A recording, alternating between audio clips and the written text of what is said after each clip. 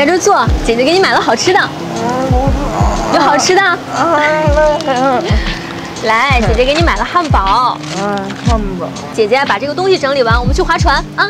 啊，划船好，划船。喂，老板，我正改着呢，你放心，一个小时之内啊，我肯定把方案给您交过去。嗯，不好吃，什么玩意儿？我要吃冰淇淋，冰淇淋，这样好不好？姐姐把这个方案改完了之后，我就给你买。你先吃汉堡，好不好？嗯，不要不要，别改了，改什么？龙宇，你能不能像正常人一样？我就要吃冰淇淋。孟雨晴，你干什么？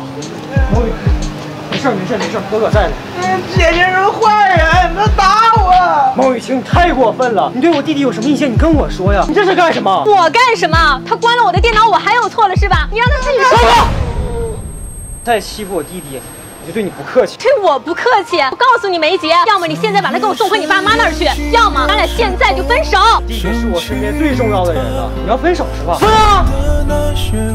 这是你说的。说过一些撕心裂肺的情话。